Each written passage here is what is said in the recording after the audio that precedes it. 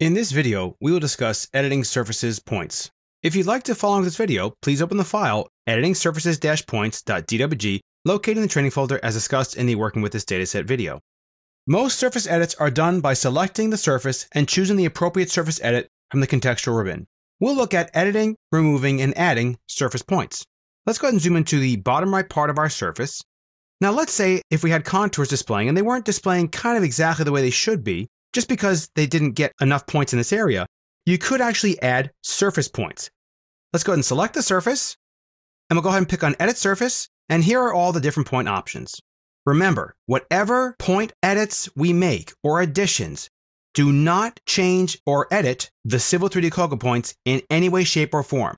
They will still be the Civil 3D COGO points that they were, whether or not they came from a survey database or were created in the drawing, and you are not making edits to those actual points. These are surface points.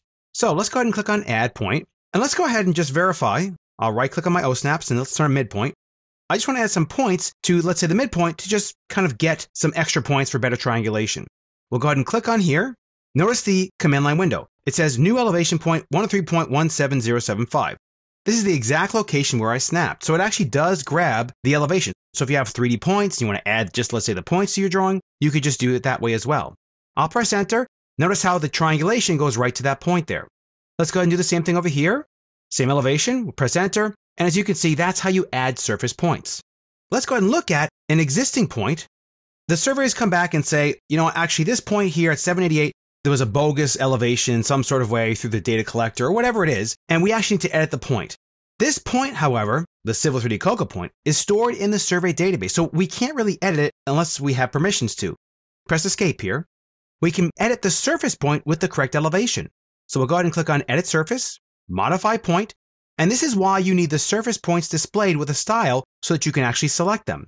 Press Enter, it does tell you the elevation, and let's say the true elevation is 102.98. So we'll type in 102.98, press Enter, and although it looks like nothing happened, I'll press Escape here. If we hover over this, you'll notice that the elevation is right on there, okay?